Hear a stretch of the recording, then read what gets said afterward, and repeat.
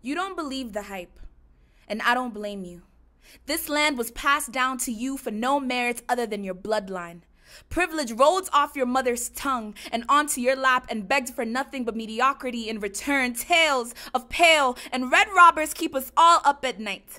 And perhaps that makes you a victim too, but we were hopeful.